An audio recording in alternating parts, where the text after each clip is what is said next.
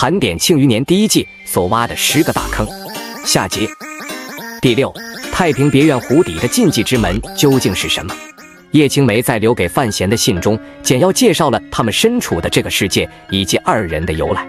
如果范闲想要了解所有的真相，就需要去太平别院的湖底，打开所谓的禁忌之门。你要找的答案，在一个叫太平别院的地方。如果你去过太平别院，会发现院子里有个池塘。我在池塘底下藏了一道机关，操作之后，屋子里会有一道暗门打开。禁忌之门的秘密，人类灭绝的真相，你要的答案都在里面。想知道，自己去看。五竹曾深入湖底一探究竟，但他表示里面的东西或许只有范闲才能看懂，而范闲决定等从北齐归来后再去揭晓。第七个，陈萍萍是否真心在扶持范闲？陈萍萍，我这一生第一次这么委屈一个人。从肖恩口中得知了一系列秘密后，范闲对陈萍萍生出了无比的恐惧。但最开始，他对陈萍萍是好奇，是疑虑，然后是敬佩和深深的好感。我觉得你人不错，我，嗯，人不错，嗯。毕竟一路走来，对方为他付出了很多。小时候派费介去教他用毒，给他安排了提司的要职；后来又派专属防卫力量黑旗去保护他，并且连监察院院长之位都想要传给他。但此刻范闲却觉得自己的一生皆被这个老脖子算计的死死的，而他在面对这样的对手时，竟是如此的无力。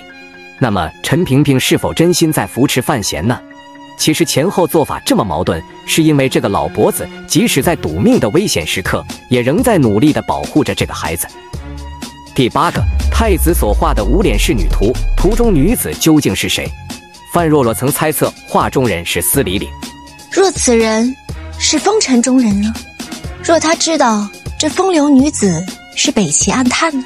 但范闲随即表示了否定，尤其是京都府审案之时。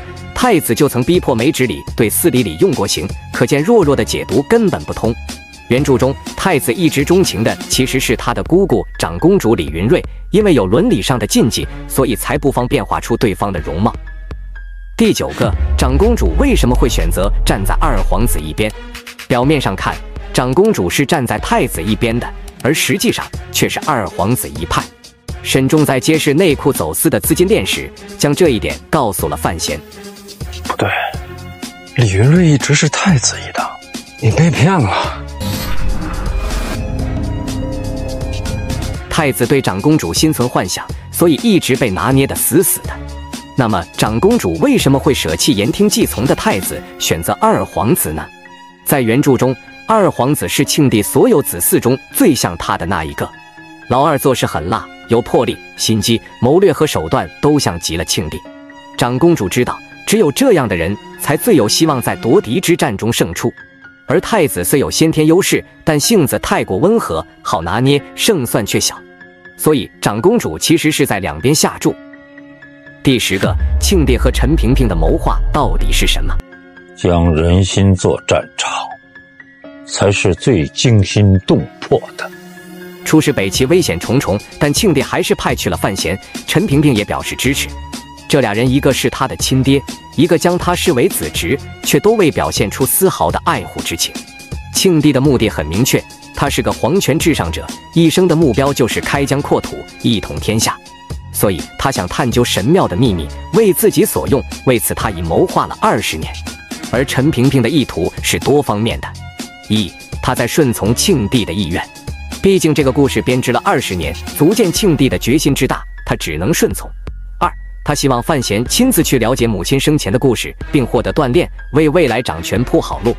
三、观察范闲的行事作风，并考量他在庆帝心中的分量，方便后续推波助澜。